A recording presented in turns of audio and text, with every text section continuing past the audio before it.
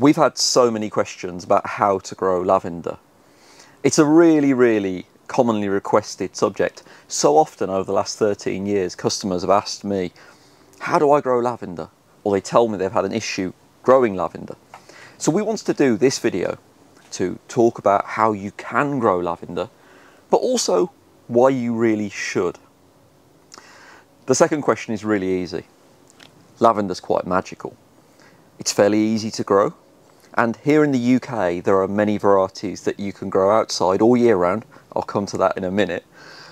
There's many varieties that you can grow all year round that really provide you with that all year round interest. But lavender is so much more than just a safe option to grow all year round. It's highly aromatic. The foliage is beautiful. It differs depending on which variety you're going to grow and you've got a lot of choices in terms of which variety you grow. But I think that the foliage of lavender is a really underrated selling point. The foliage is quite architectural. It looks good in the growing space. There are so many different shades of green and grey that change constantly as you go through the year. Lavender isn't just something that you plant and then it's there and you forget about it. It changes with the seasons. It's a constant, ever changing presence. And that's before I even talk to you about the flowering options. The flowering is why many, many people grow lavender. The lavender plumes that lavender will produce are stunning. I'm sure we've all seen those viral videos of people running through lavender fields. Planted en masse, they look stunning, don't they, in those nice, neat, straight lines. But even if you just got one lavender plant on your balcony, both you and the local wildlife are going to love these flowers. That point is worth referencing again. You're going to love the flowers that lavender produces. They give you so many options. They're a great cut flower option. We have so many questions from florists and flower arrangers about the possibility of using lavender to add to bouquets, cut flower bouquets to bring into the home, but also for professional arrangements for weddings. Lavender's a really, really great option. But it's not just you that's going to be enjoying lavender. The local wildlife are really going to be grateful to you for planting lavender in your growing space. Seriously, lavender is one of those plants that bees will flock to. And I'm a big advocate for planting for bees, not just as a one-off when everything is in flower in the summer and the bees have got so many options, but actually providing a long season of flower for the bees. What does that mean? Well, you can plant varieties like lavender, each with differing flowering periods, subtly different flowering periods, to provide a long season of resources for the bees. So lavender plants that are going to flower earlier in the summer, and then lavender plants such as a beautiful variety called Lavender Vera, that's one of my favourites at the moment, that's going to go on into the autumn. Essentially, you can use lavender to make sure you've always got something that's going to be of interest to the local bees. It's worth adding that lavender is a culinary variety too. We've traded at food festivals over the years and so many producers of beautiful cakes and biscuits have used lavender to season biscuits and add to the icing that goes on top of biscuits. Fun fact for you, apparently Queen Victoria used to love lavender biscuits. Who knew? What do you reckon? Have I done a good job extolling the virtues of lavender?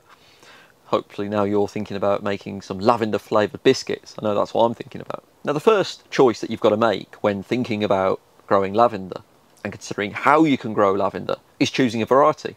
Varieties of lavender which are called English lavender tend to be a lot more hardy than other varieties. So varieties like Munstead and Hidcote, which are classic varieties of English lavender, tend to be very hardy and that means that they'll survive what's called normal winter conditions, whatever they are. When you buy a lavender plant, ask the person selling it. If you come to one of our stands, ask me whether or not the lavender plant is hardy. Most English lavenders will be hardy. Varieties of English lavender will be nice and hardy, so they'll survive the cold.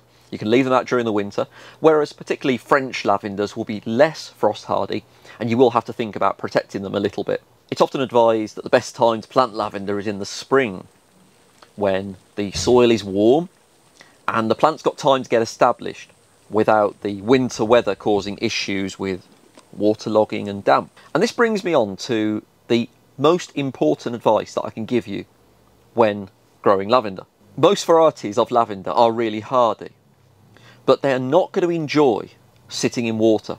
This applies to all varieties of lavender. It's often suggested that the best time to plant lavender is in the spring when the soil is nice and warm and you're not going to have issues with waterlogging throughout the winter with your young lavender plant. Now this issue of drainage and waterlogging is vital to growing lavender. If there's one bit of advice that I'd give you about growing lavender, that is to make sure that the ground is not waterlogged, that wherever your lavender plant is, it can drain freely.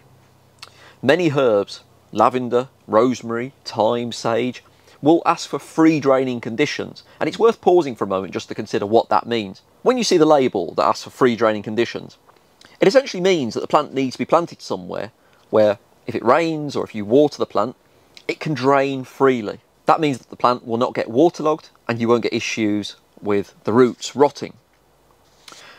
You can create these free draining conditions by, if you're planting the lavender plant in the ground, improving the ground, improving the drainage, working some grit into the ground and making sure that it can drain freely. Of course, some of you might be really lucky and you might have beautiful free draining conditions.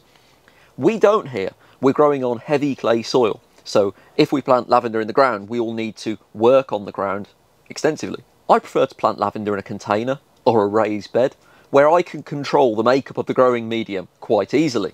If I'm potting up lavender into a raised bed or a container, again, I'm going to work a lot of grit into the growing medium to make sure it can drain away nice and freely. That's so, so important. It will prevent any issues with the plant getting waterlogged and rotting. If you've got the option to do so, lavender will enjoy a sunny position.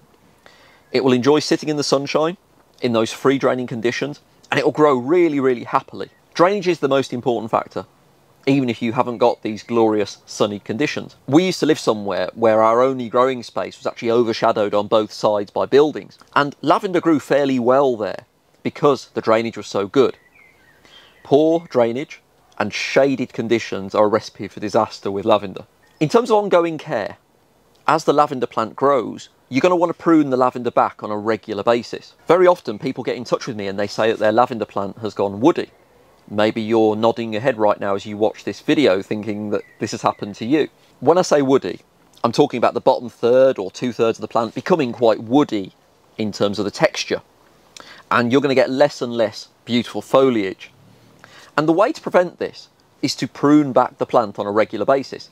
Now this involves cutting back the top third of the plant, bunching it together nice and evenly like that, and cutting back the top third on a regular basis. You're going to want to do this regularly throughout the season. Definitely after flowering, but regularly throughout the growing season to keep the plant nice and compact. Compact is a good horticultural term, and it just means keeping the plant nice and bushy and encouraging that positive growth, encouraging the plant to thicken out through regular pruning. And pruning is going to bring a lot of other advantages to your lavender plant as well. It's going to allow more light into the centre of the plant. It's going to allow greater airflow around the plant. And that's just going to make for a healthier lavender plant. It's going to decrease the chances of pests causing issues with lavender. So I'm a big fan of pruning. A lot of people don't want to prune back their plants and I can understand why. They're your plants, they're your babies, right? You're so proud of their growth. But actually, it's essential to prune back herbs to encourage that regular growth. But it's essential to prune back your herb plant to encourage that positive, healthy growth. Your herbs will thank you for it in the long run. In terms of watering, you haven't got too much work to do. Lavender's going to need a little bit of water when it first gets established.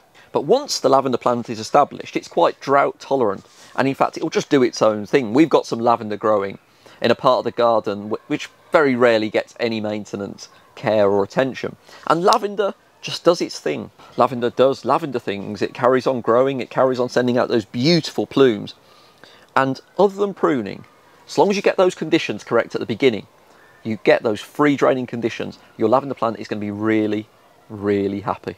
There's something else really important I want to say about lavender. It's a really, really aromatic herb. It has the ability to do what the very best herb plants do, to take you away from whatever is going on in your life, in your day at the point that you encounter it. I'm going to let you in on a secret. I didn't sleep very well last night. I'm pretty tired as I'm recording this video. But standing here now, I can smell the lavender and it's taking me away. It's taking me to somewhere slightly less stressful, away from all the thoughts that are keeping my mind busy. It's allowing me to switch off a little bit. And I'm so grateful to herbs in general and lavender in particular for that. It does what the best herbs do. It makes you smile. It makes you feel better. And I'm so grateful to herbs in general and lavender in particular for that. I'm Andy from Urban Herbs and I really hope that you've enjoyed this little crash course in how to grow lavender. If you've got any questions, please just drop us a comment below and we'd be delighted to try and help you. Follow us on social media on Instagram and Facebook. Our team love talking about herbs and we love talking to you too. Until next time guys, see you later.